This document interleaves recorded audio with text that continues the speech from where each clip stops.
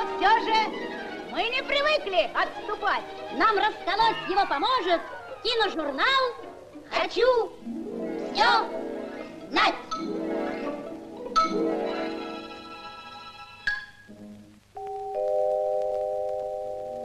Сегодня в нашем журнале несколько небольших рассказов о Ленинграде. Замечательный город. Нева, другие реки и каналы разделяют его на множество островов. И, конечно, здесь не обойтись без мостов. Их несколько сотен. Часто даже с одной стороны улицы на другую надо переходить по мосту. На набережной Невы стоит новое здание самого старого в нашей стране – фарфорового завода. Здесь делают красивую нарядную посуду.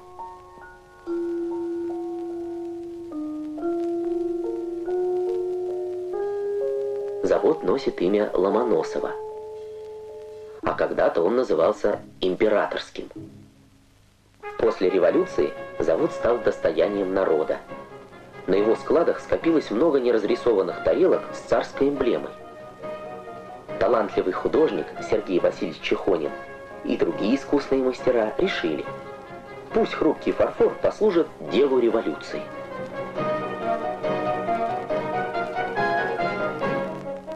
Уже в 1918 году на тарелках с перечеркнутой царской короной появились революционные рисунки – превратив каждую из них в яркий агитационный плакат. Конечно, эти блюда не подавались на стол, а выставлялись в специальных витринах для всеобщего обозрения. Они призывали защищать молодую республику Советов, трудиться для народа. В наше время их бережно хранят в музеях, как память об искусстве, рожденном революцией.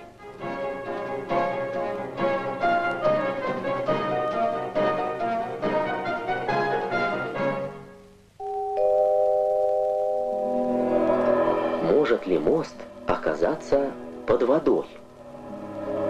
С этим он называется «синий мост». Такое случалось не один раз.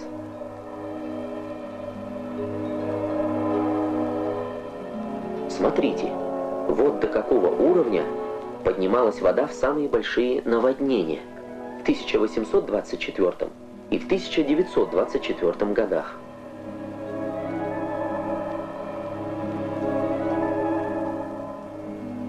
Ленинграде наводнения бывают по нескольку раз в год и приносят городу много неприятностей.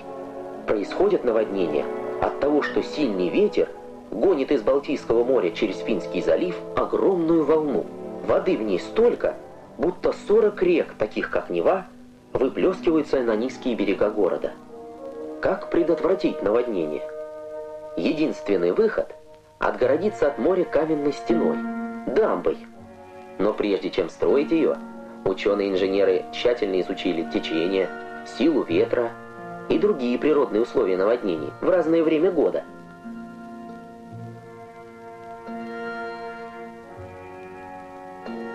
Важно еще, чтобы дамба не нарушала чистоту воды в заливе.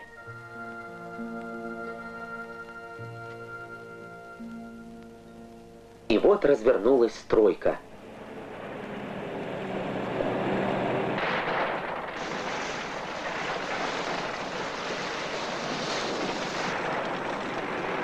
Метр за метром растет, удлиняется каменная насыпь. Она станет не только надежным щитом города, но и отличной дорогой, соединяющей берега залива с островом Котлин, на котором стоит Кронштадт. В этом сложном техническом сооружении предусмотрены ворота для пропуска кораблей, автомобильные тоннели и мосты – Нешуточное дело построить стену в море длиной почти 25 километров. Работы много, но придет день, и Ленинграду перестанут грозить наводнения.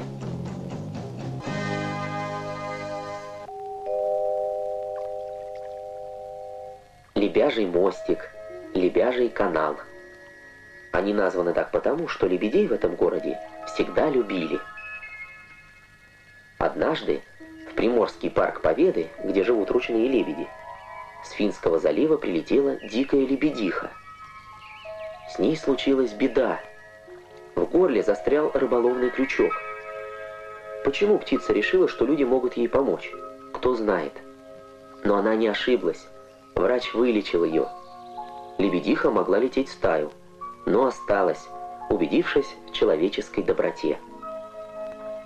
Вскоре она переселилась на другое озеро, в пансионате Дюны, и очень подружилась с Дмитрием Ивановичем Маджаровым, работником пансионата.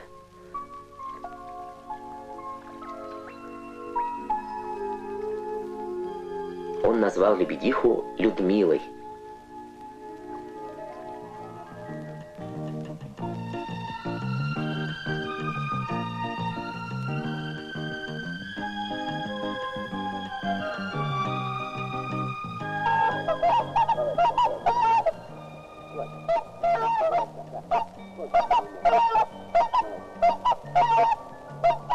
Лебеди-кликуны – перелетные птицы, на зиму летают в теплые края.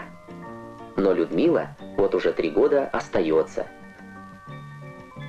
Знает, Дмитрий Иванович и защитит, и обогреет, и накормит. Летом здесь много отдыхающих. Людмила очень волнуется, когда кто-то отвлекает Дмитрия Ивановича от нее. Словно верная собачонка, повсюду следует за ним эта величественная птица.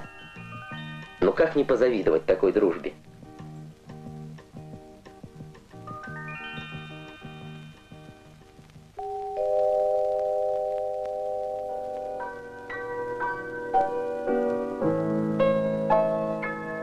Как называется этот мостик, легко догадаться. Львиный.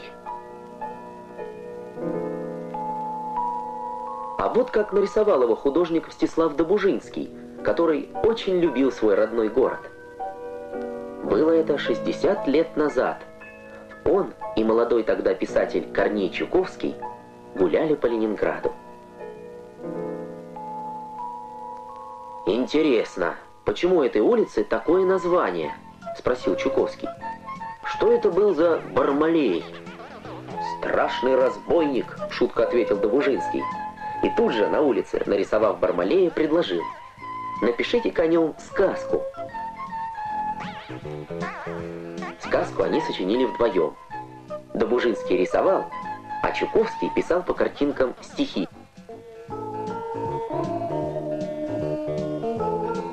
Маленькие дети, ни за что на свете не ходите в Африку, в Африку гулять. В Африке разбойник, в Африке злодей — в Африке ужасный Бармалей. Как же настоящий Бармалей?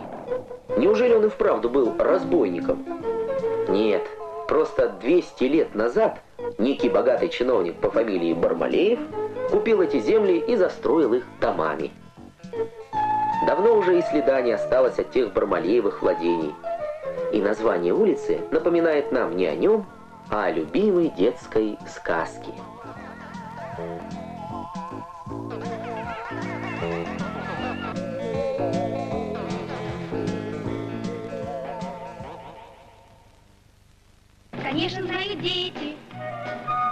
Еще не все на свете, и это очень грустно, приходится признать. Но было бы, но было бы желание, придут к тебе Придут тебе и знания, за это вам ручается. Журнал «Хочу все знать»